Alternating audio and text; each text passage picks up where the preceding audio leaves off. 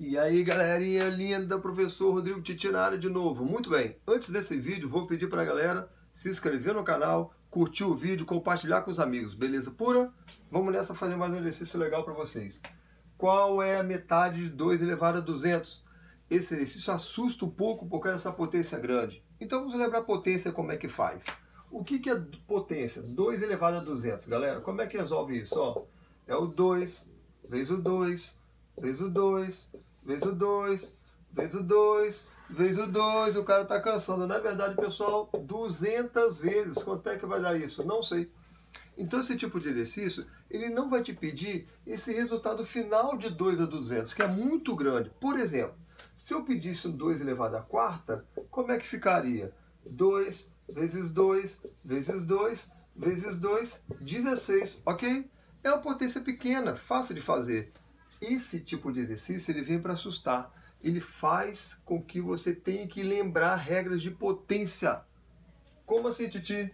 Vem comigo. O que, que eu pedi para vocês no vídeo? A metade. O que, que é metade, galerinha? É dividir alguém por dois. Então, a hora que você montar isso, fica fácil. Olha, 2 e 200, 2 elevado a 200, dividido por 2. Ah, foi isso que ele pediu a metade de 2 elevado a 200. Lembre que na regrinha de potência, aqui tem um zinho, e você aplica aquela regra bem básica assim, ó. Divisão de potência de mesma base faz o quê? Repete a base e subtrai os expoentes.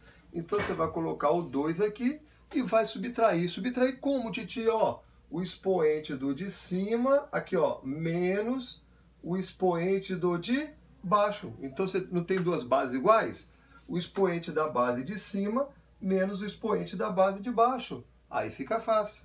Como é que eu termino? 200 menos 1. Aqui, ó. Para terminar, eu vou ter 2 elevado a 199. Então é desse jeito que vem a respostinha pra gente, beleza? Pura, não fique com medo, hein? Titi vai sempre te ajudar aqui na matemática. Tamo junto. Gostou do vídeo? Aquele likezinho, se inscreve no canal, compartilhe com os amigos. Até o próximo vídeo, galerinha. Um abraço, beijinho.